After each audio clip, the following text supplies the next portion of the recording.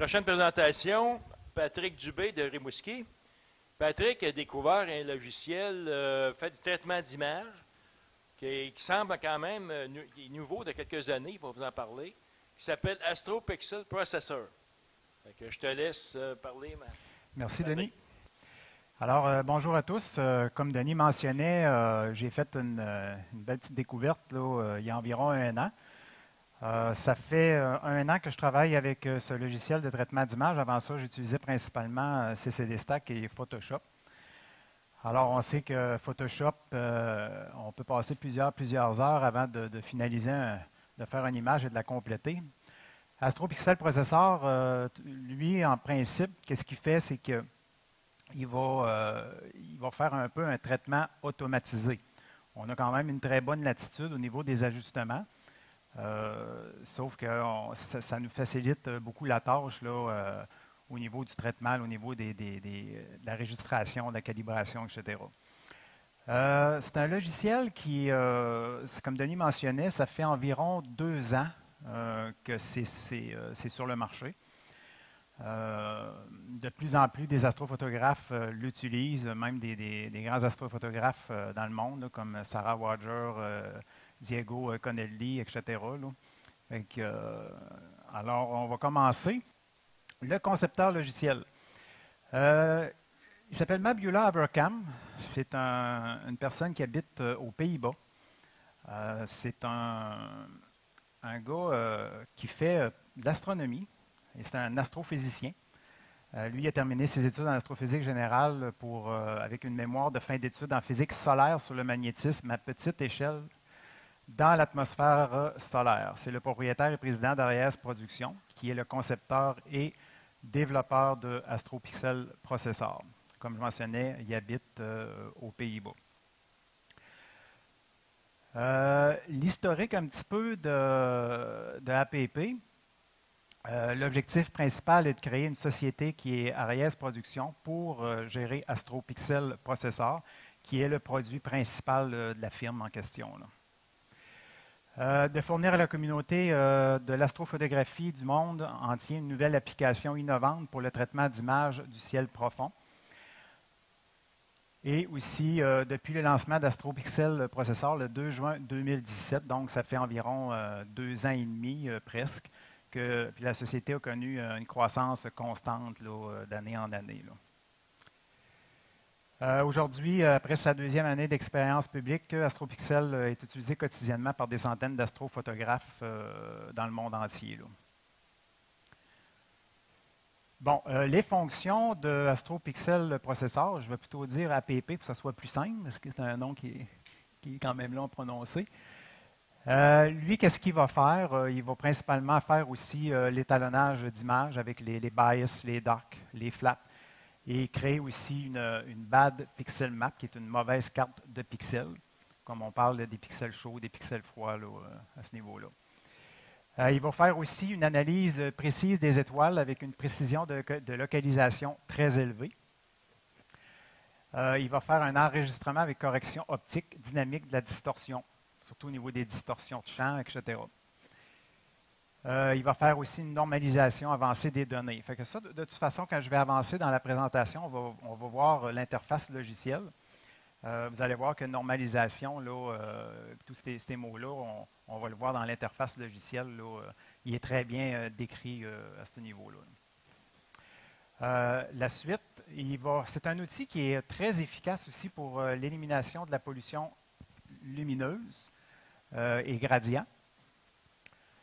Il y a un outil batch aussi pour faire pivoter, redimensionner les images. Vous pouvez diviser vos données RVB, qui est les, canaux couleurs, distincts pour euh, combiner vos données avec euh, vos canaux monochromes. Ensuite, euh, il y a la possibilité de multiplier ou diviser vos données avec un certain facteur. il, y a des, filtres de prévisualisation de différents réglages d'étirement automatique réglage d'arrière-plan et des surbrillances. Ça veut dire que ça, vous pouvez ajuster vos, euh, contrastes au niveau de la luminosité de l'objet, le, background, euh, etc. Comme je mentionnais, les contrastes, la netteté, de, tout en protégeant vos étoiles. Euh, possibilité de réduire l'étirement pour vos données des étoiles, d'avoir des, quand on a des étirements plus serrés. Ce qui veut dire c'est des stretches, autrement dit, que vous pouvez contrôler aussi la brillance ou la saturation là, au, niveau des cœurs des galaxies et des nébuleuses. donc, on peut moins saturer là, à ce niveau-là. en utilisant des fils de prévisualisation, ça on va les voir tout à l'heure, ce qui veut dire c'est que vous avez différents stretches un coup que euh, vos dossiers maîtres, vos images maîtres sont assemblés, vous pouvez euh, visualiser différents stretches euh, qui est à votre guise. Si vous voyez que c'est trop exposé ou surexposé, vous pouvez réduire les filtres en question pour donner une image qui est plus uniforme. Donc, vous pouvez directement enregistrer tous vos résultats en format FITS, TIFF ou JPEG. Euh, ce qui est très intéressant ou ce qui est très important, c'est de, contrôler toujours euh, l'histogramme RVB ou luminosité de vos données. Donc, c'est toujours visible. Donc, quand vous faites le traitement euh, sur APP, vous avez toujours un visuel sur votre histogramme. donc, vous savez vraiment où ce que vous en allez. Vous voyez si vous avez s'il y a des, données qui sont trop surex ou que l'histogramme est, hors contrôle, bien, vous allez le voir automatique. Euh, l'outil de calibration des couleurs pour les étoiles. Donc, euh, ça permet de calibrer la couleur des étoiles sur le champ en entier. Euh, il y a un outil de composition RGB. ce qui veut dire, c'est que si vous voulez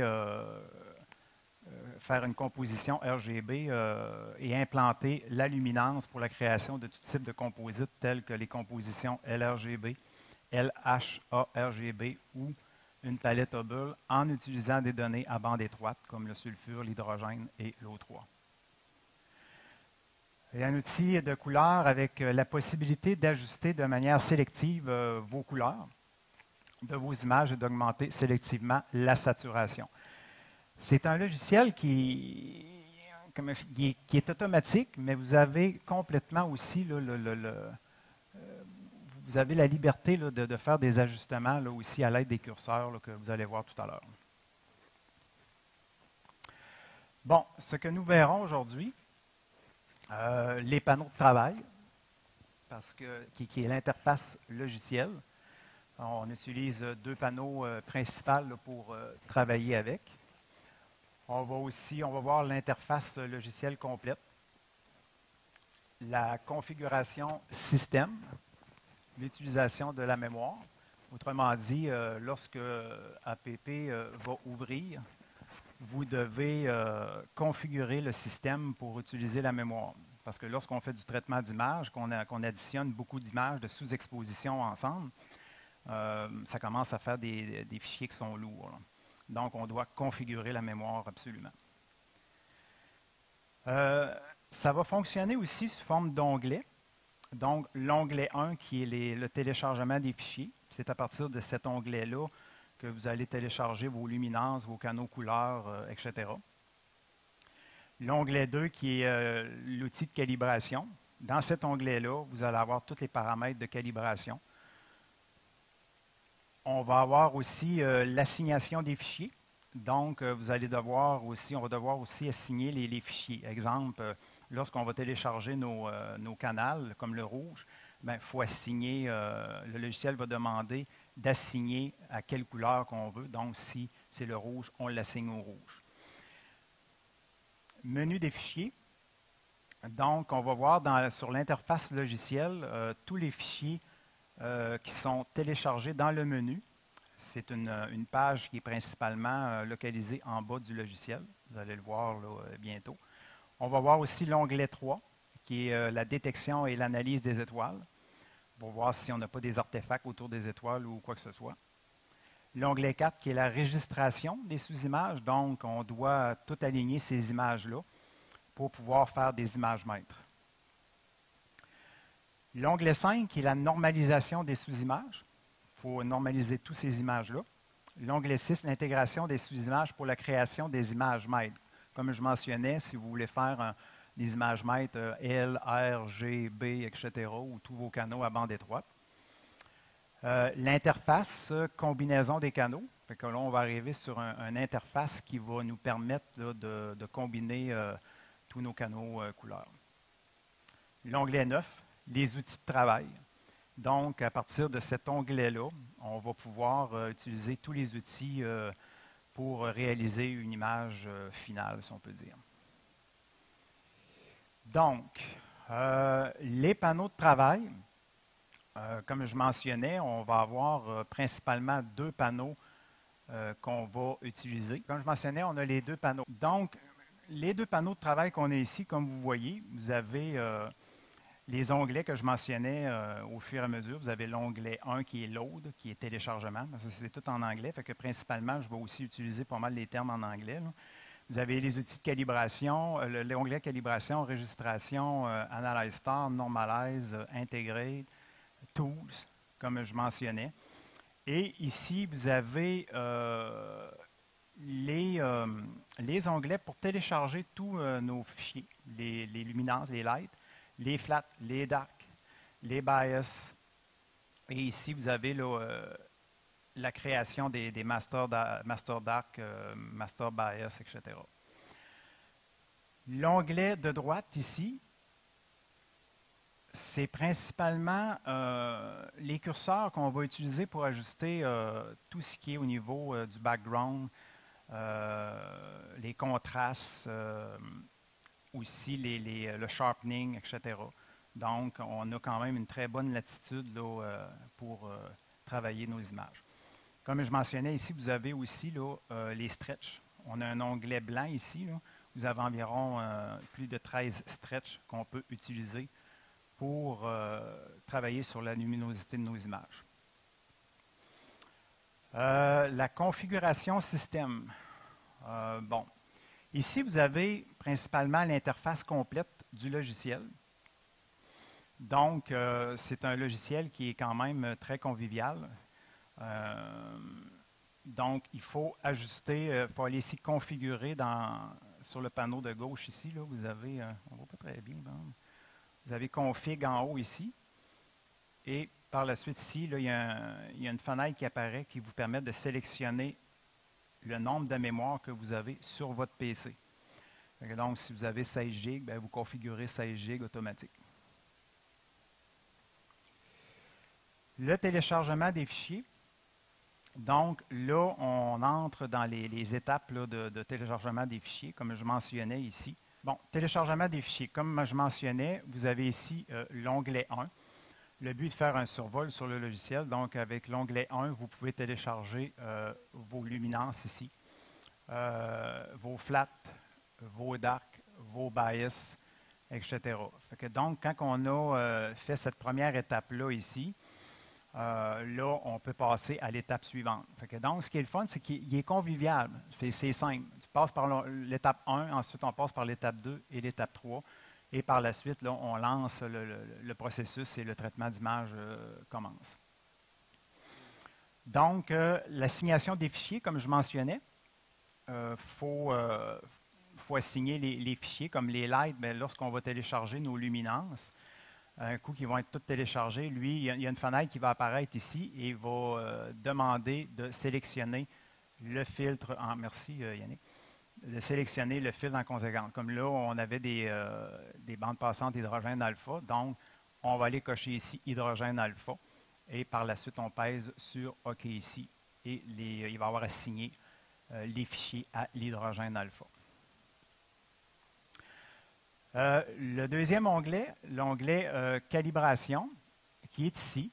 Là, on va aller ajuster euh, nos filtres pour calibrer les images. donc, ici, on a principalement, là, on a l'onglet ici, le fichier master, bias. donc, on va aller ajuster les filtres ici pour pouvoir permettre de, de, faire une moyenne des filtres ou un, une médiane qui appelle. Et ainsi de suite pour les, les dark, les dark, les flat, les, euh, les master dark, les master, la, bad pixel map, comme je mentionnais, là, qui va euh, faire une, une rejection des, pixels chauds et des pixels froids. Euh, la suite, l'onglet de calibration, on va avoir, ça c'est la suite. vous avez un curseur qui est ici là, sur le bord du, logiciel. Là, on va continuer, on va descendre dans l'onglet calibration pour pouvoir aller cocher ici, l'exemple pour créer le master, le master dark, le master bias. et ensuite, on va sélectionner ici, créer les, master frames. Donc, il va créer vos, vos dark, vos flats et vos bias. Euh, le menu des fichiers. Lorsqu'on a euh, téléchargé tous nos fichiers, euh, nos, canals rouges, verts, bleus, les luminances, les, filtres hydrogène, on va voir dans le menu du logiciel en bas tous nos images qui ont été téléchargées. Donc, vous allez avoir ici, on le voit, les luminances, on va avoir les, canals rouges, les canals verts, les canals bleus. Et vous allez avoir aussi euh, le, nom du répertoire ou ce qui a été téléchargé. Vous allez avoir aussi euh, les expositions. Comme ici, on a des 1200 secondes, on a des 600 secondes. Vous allez avoir aussi la date euh, que les images ont été réalisées. Donc, vous avez vraiment une empreinte complète de, tous vos fichiers pour euh, vous permettre de savoir où est-ce que vous en allez avec ça. Et ici, vous avez une grande fenêtre blanche ici, là, qui il n'y a aucun paramètre parce que le traitement n'a pas été fait. Éventuellement, on va avoir aussi nos, nos, données, là, le full alpha maximum, le, signal noise ratio. on va avoir aussi le, quality score, ce qui veut dire c'est que plus le, quality score, le chiffre va être élevé, plus ça détermine que les images sont de, haute qualité. Toutes les expositions vont être de qualité. Ensuite, vous avez aussi l'instrument, la caméra utilisée. on parle ici, on voit une STF 8300. On voit aussi la grosseur, la taille des fichiers. Euh, c'est des fichiers type en format FITS. Euh, par défaut, c'est euh, tout en format FITS que les images sont traitées. Maintenant, on arrive dans l'onglet 3, euh, qui est l'onglet Analyze Star. Euh, lorsqu'on est rendu à cet onglet-là ici, on a un petit ajustement qui est à faire, mais pas nécessairement tout le temps. S'il y a un message d'erreur qui apparaît, lui, qu'est-ce qu'il va nous dire? C'est qu'il y a, peut-être comme pas assez d'étoiles pour faire l'analyse. Fait qu'avec le petit curseur ici, on va aller ajuster le curseur pour pouvoir faire une analyse plus complète. Et on va sélectionner le bouton ici euh, pour commencer l'analyse.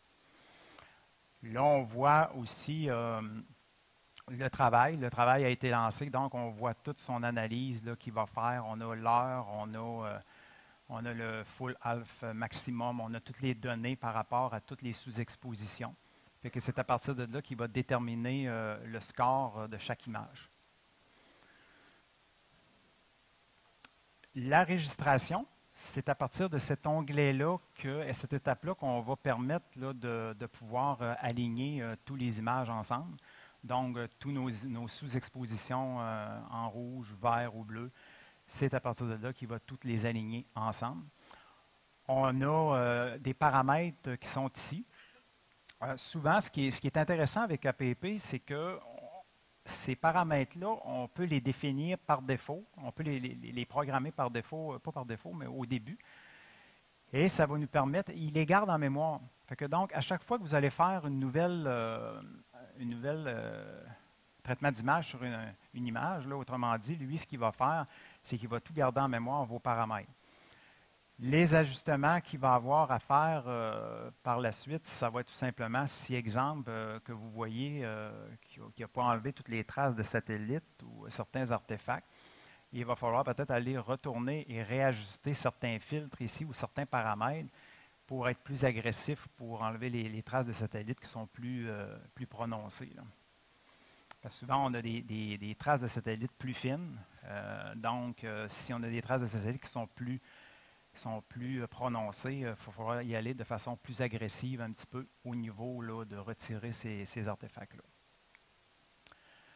Suite au niveau de la registration, on continue. Ici, on a un onglet déroulant. On va aller terminer d'ajuster euh, les filtres pour permettre d'optimiser le, rapport signal-bruit. et on a un onglet à la fin lorsque c'est fait ici. Là, vous voyez registration. Donc, on peut débuter la registration. L'onglet normalisation, là, c'est un petit peu du redondant parce que je fallait que je fasse des, des imprimes pour pouvoir euh, vous montrer euh, les étapes, la procédure de traitement d'image. Mais ça, c'est pas long. Là, euh, ça prend environ une quinzaine de minutes. Vous rentrez vos paramètres, puis après ça, le, traitement est parti. donc, on a l'onglet normalisation qui est l'onglet 4. encore là, ici, on va aller ajuster des paramètres. On a très peu de paramètres à ajuster ici. Euh, c'est pas mal les paramètres par défaut que le logiciel euh, doit euh, utiliser dans, dans ce cas-là ici au niveau de la normalisation. Et ensuite, on va aller cliquer sur l'onglet Normalize Light juste ici et la procédure va commencer. L'intégration des images, les fichiers maîtres. Là, on a fait la calibration on a fait euh, la registration. Là, il va créer les fichiers maîtres à partir de toutes vos sous-images qu'on a utilisées pour le traitement d'images qu'on veut faire sur, l'objet en question. Donc, on voit ici en haut l'onglet euh, Integrate. Donc, il va, aller, intégrer toutes les sous-expositions pour créer des fichiers maîtres on a la même procédure. On va avoir des, euh, si on veut ajuster euh, la moyenne, on peut aller, qui est le poids d'image aussi, sur les onglets. Vous pouvez aller sélectionner les filtres ou les, les, données requises en fonction de ça. Ce qui est intéressant avec le logiciel aussi, c'est que quand vous pointez sur l'interface logicielle, il y a toujours une fenêtre qui va apparaître et qui va vous dire euh, ou ce que vous pointez, dépendamment de ce que vous pointez, qu'est-ce que ça fait. que vous avez déjà une bonne, euh, une bonne aide à ce niveau-là.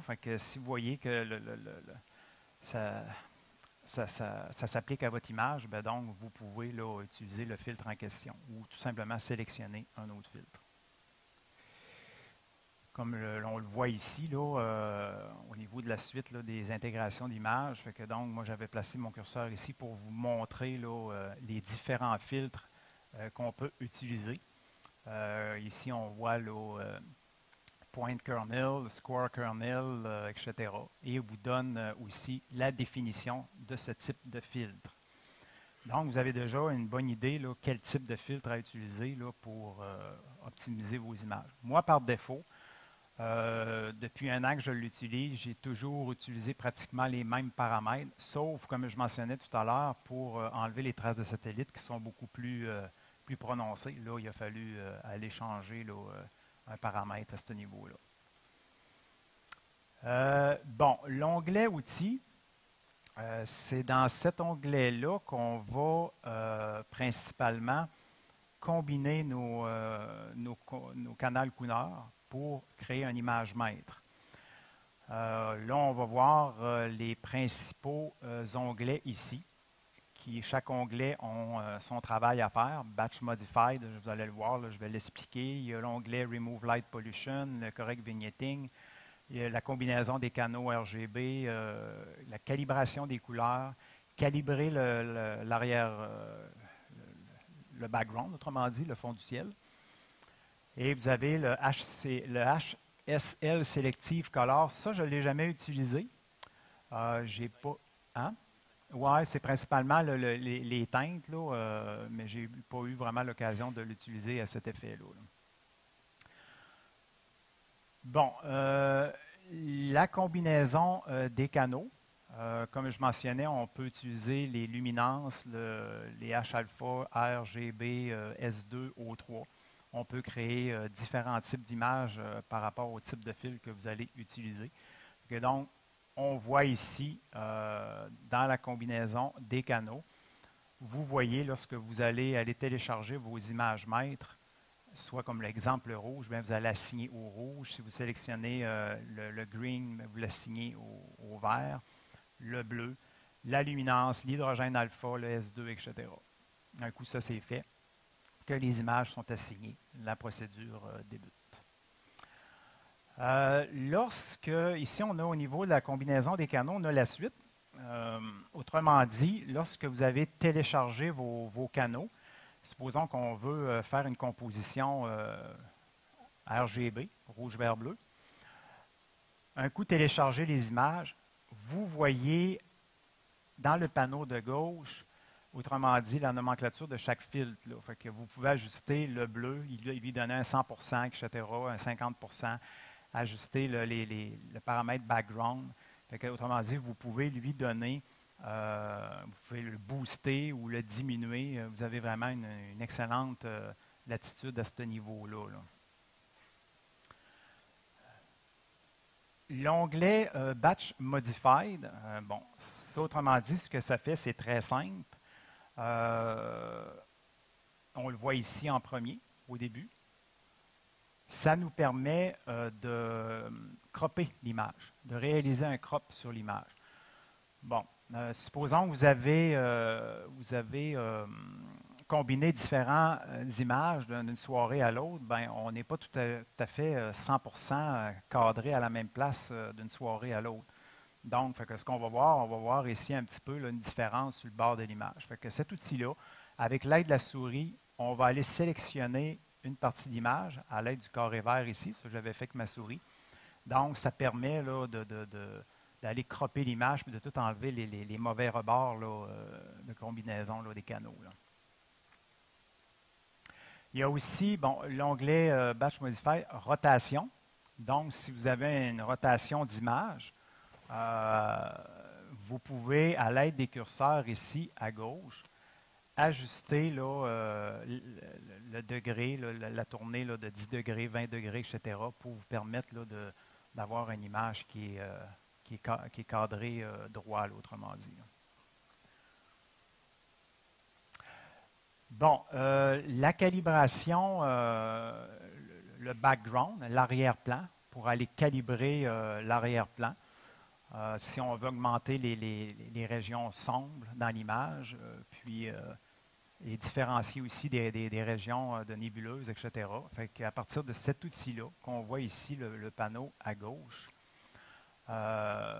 vous avez il vous demande tout simplement d'aller sélectionner avec votre souris les régions les plus sombres euh, de l'objet en question. Et par la suite, vous allez travailler sur Calculate ici. Et par la suite, lui, il va faire le, il va aller calibrer votre, votre arrière-plan au niveau de l'image. C'est un peu, euh, je dirais, c'est un peu un logiciel, euh, un logiciel un peu lâche, comme on dit, parce qu'il fait quand, il fait quand même une bonne partie du travail. Mais un coup, vous avez tout paramétré au départ, on a quand même un petit peu, d'effort à faire.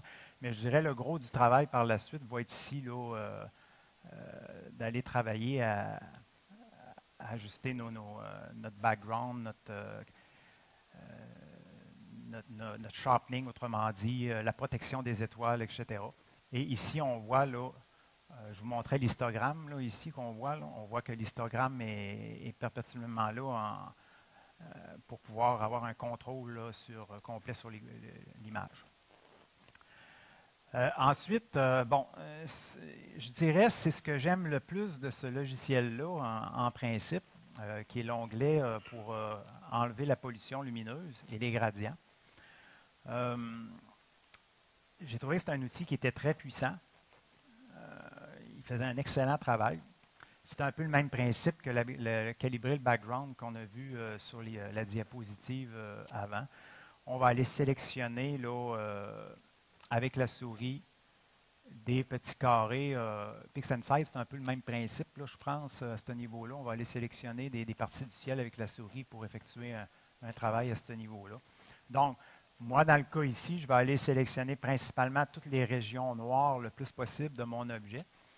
Et on peut même aller, euh, pour augmenter les contrastes ici, aller sélectionner des petits carrés dans nos régions les plus sombres euh, de l'objet. Par la suite, on va aller cliquer sur Calculate. que lui, qu'est-ce qu'il va faire? Il va faire son travail, il va ajuster euh, l'image en fonction de, la pollution lumineuse à retirer. Ensuite, lorsque c'est fait, euh, il vous montre le modèle de pollution lumineuse euh, qui a corrigé. donc, à partir d'ici, sur le panneau gauche, vous avez votre Show Correction Model. On le voit ici. Après ça, ben, vous, pouvez vous pouvez refaire sélectionner Show Correction Model pour revenir à votre image précédente. Ensuite, il y a la calibration des étoiles. Euh, je fais des survols là-dessus euh, vite, vite, parce qu'on pourrait s'éterniser. Mais euh, le Star Color Calibration, ça vous permet d'aller un petit peu ressortir les, teintes plus naturelles de, vos, étoiles. Principalement ici, on voit que les, étoiles ont principalement toute la même teinte. On voit plus du, blanc à cet effet-là que lui, cet outil-là, il va aller calibrer la couleur au niveau des étoiles. Donc, on voit ici sur l'onglet, vous voyez quand on est allé dans l'onglet euh, principal au départ, Star Color Calibration, il nous amène dans une autre page là, qui nous permet de voir tous les ajustements possibles euh, à cet effet. Un coup, la, calibra, coup la, Star Calibration euh, effectué, ça, apparaît bleu comme ça, mais ça ne reste pas comme ça. Là. Ici, on, peut voir euh, l'image avant correction et l'image après correction. donc, on voit qu'il y, a des étoiles qui sont plus euh, euh, hors champ au niveau du, résultat. Fait que lui, qu'est-ce qu'il va faire? C'est qu'il va, en corrigeant la couleur des étoiles, il va ramener des ratios plus égales, si on peut dire. Bon, j'arrive dans, dans, des avantages de l'APP. Euh, comme vous pouvez voir, c'est un logiciel qui, est assez convivial. Euh, c'est une procédure qui est étape par étape à suivre. Donc, euh, c'est un coup qu'on a un petit peu étudié l'interface logicielle. On, suit les étapes une, à une. C'est ce qui nous permet de, faciliter le, travail au niveau du traitement d'image. Euh, il optimise le signal sur tous les sous-expositions. C'est qu'il va aller, euh, lui, ce qu'il va faire, c'est qu'il va aller chercher, euh, il va optimiser tout le signal dans, vos sous-images pour créer vos votre image maître. L'outil de gradient et de pollution lumineuse qui est très efficace. permet de créer toutes les combinaisons d'images possibles, LRGB, RGB, LHA, RGB, L, H, A, R et G, B et palette Hubble aussi avec ça.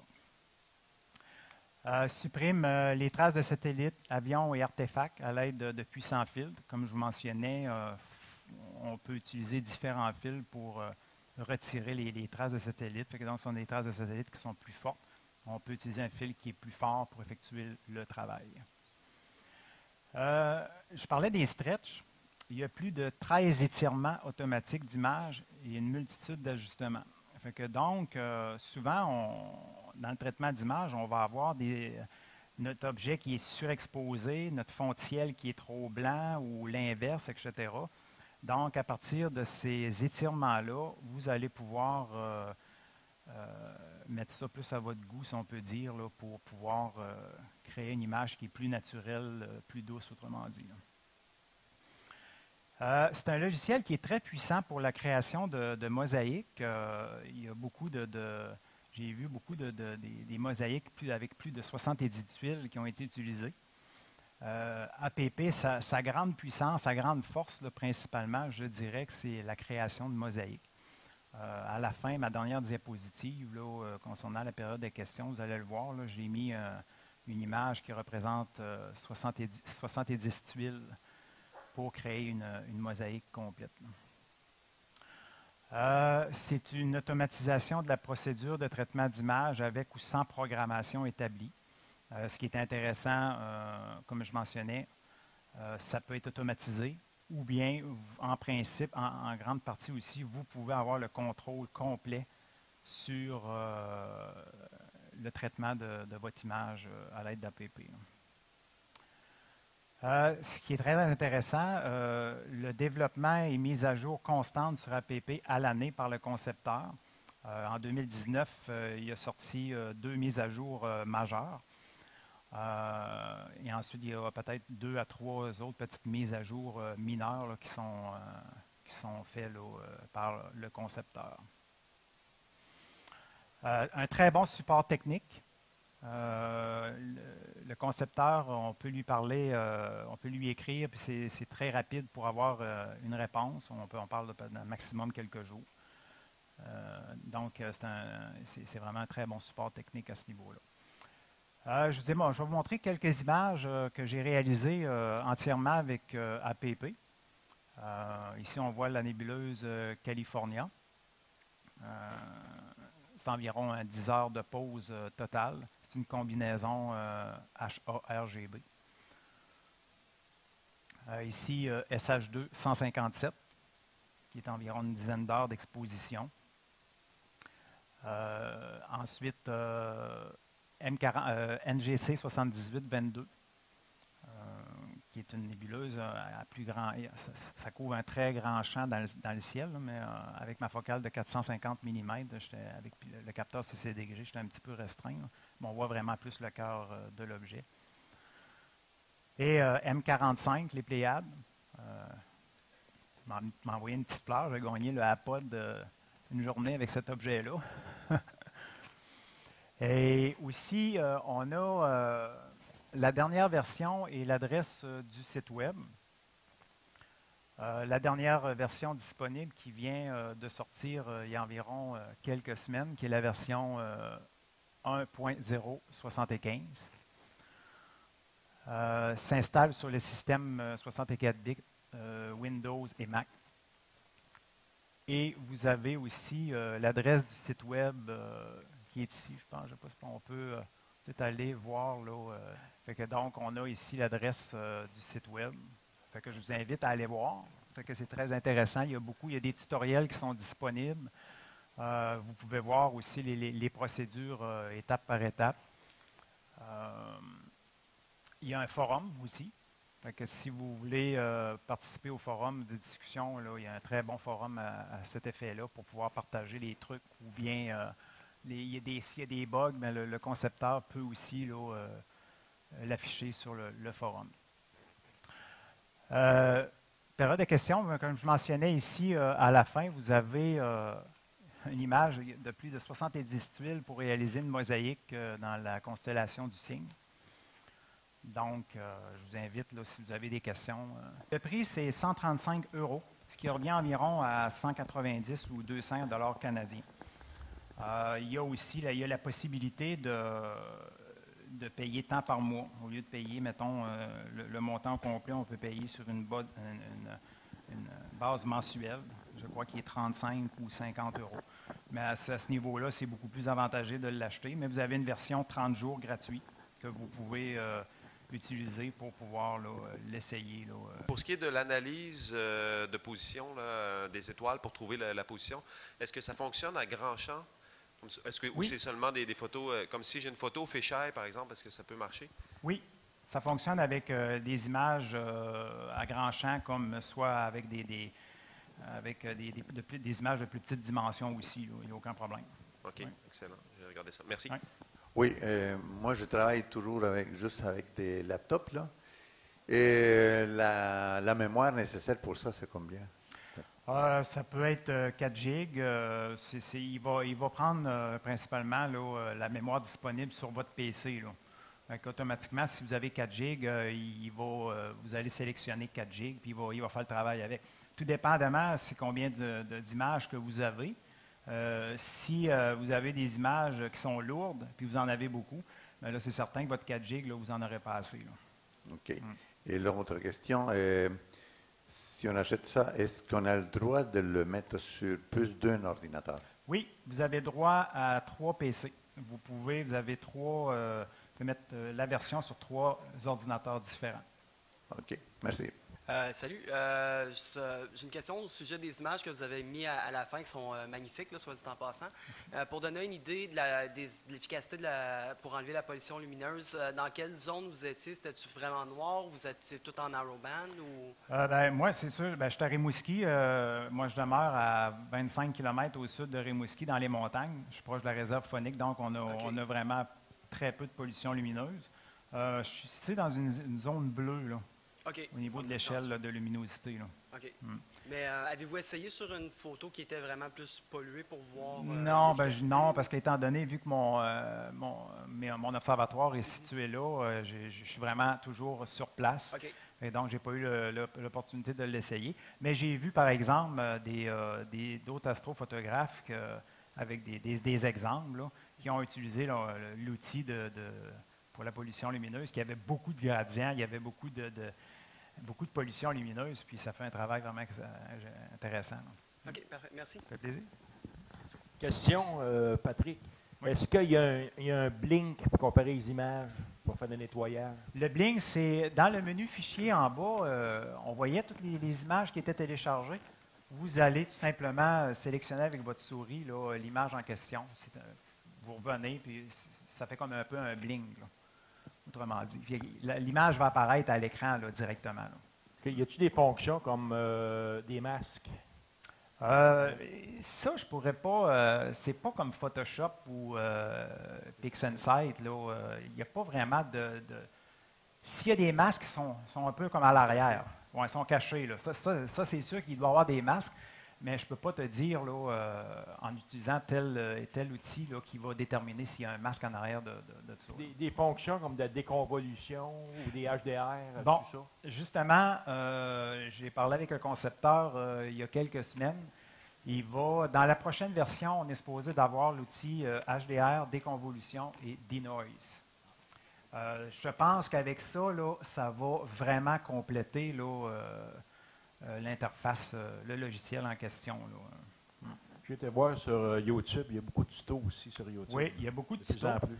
Euh, il y a des tutos euh, qui sont faits par euh, Sarah Wager, euh, Di- euh, Diego euh, Connelly, Mabula Vencam aussi, qui en, qui en fait beaucoup, qui, est- qui est le concepteur du logiciel. Euh, moi, je vous invite à aller voir. là, il y a vraiment là, des, des- des superbes images qui, sont, qui ont été réalisées là, euh, avec euh, ce, ce logiciel-là. Moi, honnêtement, euh, moi, comme je dis souvent à des amis, euh, je dis, il faut avoir, faut utiliser les outils avec quoi qu'on ma- qu'on- qu'on maîtrise bien. Euh, comme moi, j'ai essayé PixInsight, je- qui, est un, qui, est un qui puissant logiciel qui est probablement supérieur à, à APP. euh, mais je, le trouve trouve qu'il est vraiment pas convivial. Il y a beaucoup de, scripts, il y a beaucoup d'étapes. Donc, euh, quand j'ai découvert APP, euh, je me suis dit, waouh, ça, fait un excellent travail, beaucoup plus facile à utiliser. Euh, Moi-même, je dirais, euh, ça s'adresse aux débutants intermédiaires et même très avancés parce qu'il y a des, astrophotographes, euh, dans le- des top astrophotographes dans le monde qui, qui n'utilisent que, que APP. Là. Vous irez voir leurs images, là, vous allez voir, c'est- assez impressionnant. là. On a une version 60 jours qu'on peut essayer. Euh, 30 jours. 30 jours. C'est une Puis, version. euh, full- full écrit- il, est- complet. Oui, il est complet. Pendant 30 jours de temps, euh, vous- il est débarré, comme on dit. Vous pouvez utiliser euh, le logiciel comme vous voulez. Oui. Euh, je crois que oui, parce que justement, André Cajolet n'est pas ici à soir. hein. Je ne l'ai pas vu. André, il est en train de faire la, la, la tra- la tra- la traduction, autrement dit, en français. Par contre, euh, je ne peux pas te dire euh, quand ça va sortir. Ça fait déjà un bout que c'est en marche. Euh, je ne sais pas, là, je n'ai pas, j'ai pas de, de- de- de nouvelles à, cet- effet-là, là, quand est-ce que ça va être disponible. C'est-tu un, un logiciel qui est ouvert pour tout le monde? C'est comme, Oui. comme op- open, open source? Oui, oui, oui. oui. Fait que N'importe qui pourrait le chercher, des- ajouter des algorithmes dedans, tout ça. Ah non, non, améliorer. excuse, non, non, il non, tu ne peux pas ajouter des algorithmes dedans. là. Il, est, il est préprogrammé, tu ne peux pas le modifier. là. Non, c'est ça. Comme je mentionnais, qui est la calibration des étoiles, il va aller calibrer la couleur des étoiles, il va aller rendre euh, la couleur plus uniforme au niveau du champ des étoiles. Et moi, j'effectue euh, 90 à 95% du traitement de, mon image avec APP. Le reste, c'est dans Photoshop. Je vais aller euh, enlever un petit peu de bruit dans Photoshop, euh, ajuster d'un fois euh, au niveau des, des, euh, de la saturation un petit peu. Mais déjà, euh, avec l'outil saturation dans, dans il fait déjà un excellent travail. Mon, but, c'est d'en venir à travailler 100% avec euh, APP. C'est ce que le concepteur euh, est en train de faire aussi. Éventuellement, on, va pouvoir euh, juste utiliser le logiciel. Mais c'est sûr qu'on Il y, a, toujours des, outils qu'on peut aller chercher, là, euh, des plugins dans Photoshop qui font qu'on peut améliorer les images. Euh, on peut-tu acheter ça en groupe ou c'est seulement un seul propriétaire pour trois porteurs? Non, c'est un seul propriétaire, vous avez une clé unique. que donc, quand vous installez euh, une deuxième ou une troisième version sur différents PC, lui, il faut vous rentrer votre clé, puis à partir de là, il va aller se connecter directement sur le serveur de, de APP pour voir si votre euh, licence est, euh, est si ton ordinateur plante, avec la clé, ils peuvent te le réactiver? Oui, oui, exactement.